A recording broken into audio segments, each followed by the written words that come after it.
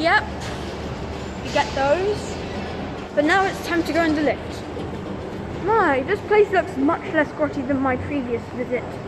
Okay, here's some Schindler Mechanics. Uh, the button is light up, lit up. Doors opening. Three. Close doors. Yep, there, there is a speaker. Oh, oh yes. This is bringing back Miconic memories. Yep. Level 3. Level three. Door opening. And it's got intelligent landing.